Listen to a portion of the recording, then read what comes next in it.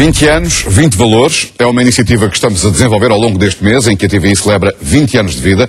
Estamos a conhecer alguns dos melhores valores das universidades portuguesas para saber como encaram o presente e o futuro de Portugal. Hoje vamos entrar na Faculdade de Direito mais antiga do país, em Coimbra, para ouvir a confiança no futuro que tem o melhor aluno, André Moraes. É manhã de exames na mais antiga Faculdade de Direito do país. André Moraes aproveita para pôr a conversa em dia com os colegas. Disseram-me há pouco que família, época normal, melhorias vai ser só com o curso. E vai ser com o É, é, é. Elas fazem muitas perguntas.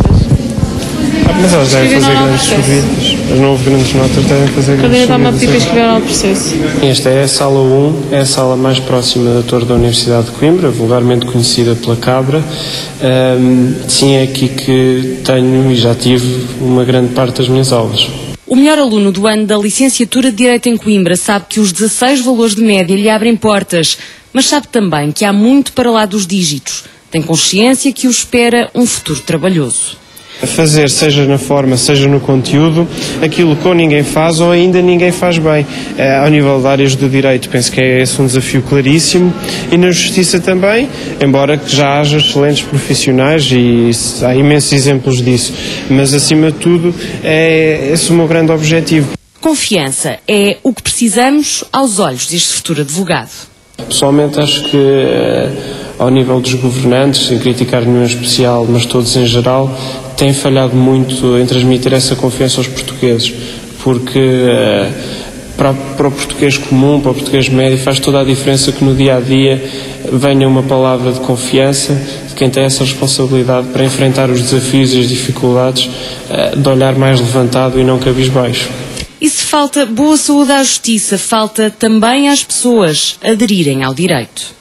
É infrutífero condenar eh, um criminoso, um corrupto, se depois esse corrupto, esse criminoso, uma vez condenado, não encontrando a legitimação jurídica na justiça, vai encontrar a legitimação democrática ou política nos eleitores ou nos cidadãos. Isso é defraudar completamente o espírito da lei e do direito.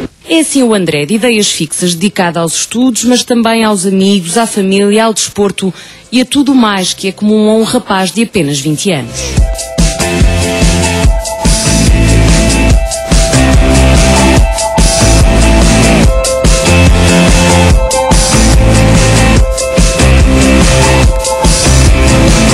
Este advogado de amanhã quer também um dia formar futuros advogados, de preferência no nosso país. Mas os desejos ultrapassam estas antigas fachadas. Desportivamente, eh, não gostava de morrer sem ver a Académica sagrar-se campeã nacional. Isso seria, seria além do- da vitória na Taça de Portugal a época passada, seria outro grande sonho realizado.